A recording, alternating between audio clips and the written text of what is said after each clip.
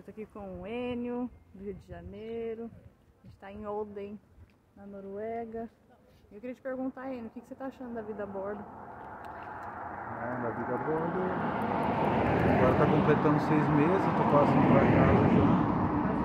Já dá pra ter uma noção de como que é a experiência. É uma experiência meio que difícil, né? Com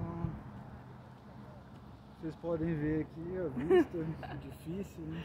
Difícil demais, né? né? É compensador, né? A gente trabalha bastante. É uma Mas- forma de vida, né? Assim, eu vim mais pela experiência mesmo, de poder viajar.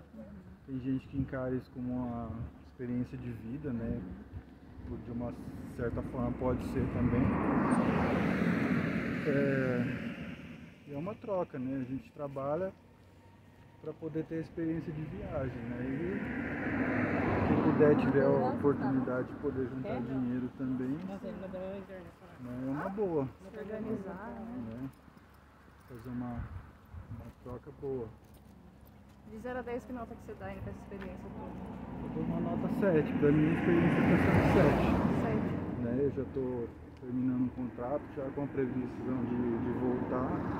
Está fazendo o norte da Europa e no próximo fazer a Mediterrânea. Né? Que é a ideia de conhecer lugares. né? Legal mesmo. Não fala barato. Então é isso aí. Muito obrigada. A gente se vê no próximo contrato. Valeu pessoal. Valeu.